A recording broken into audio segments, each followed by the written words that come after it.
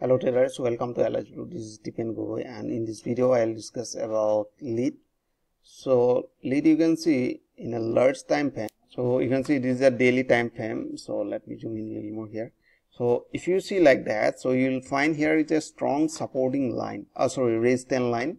Right here can support, right? Strong support, and this is the resistance, and this is the resistance right now lead is just near this resistance line. So when price is like that uh, near the resistance line we never gonna buy right?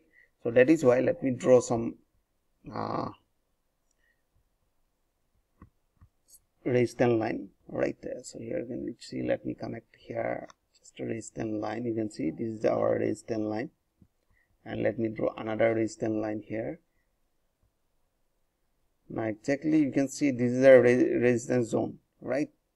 So that is why in this area we never gonna take buy right? So that is why uh, we have to find some entry point right? Right now you can see lead is just running like that in a range right? That uh, this is a large range. So if you wanna trade here uh, you just find out the range of this market. So here you can see this is our range and uh, this is our range right? This is our range right now uh, sorry lead is running in this range right?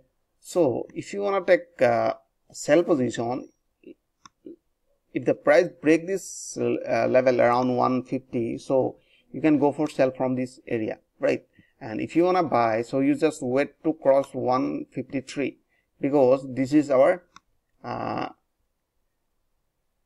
resistance zone right in this resistance zone we never take buy position right?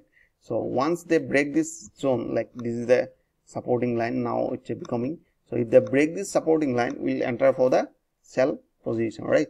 So i hope you enjoyed this video. If you like this video please like and subscribe. Thanks for watching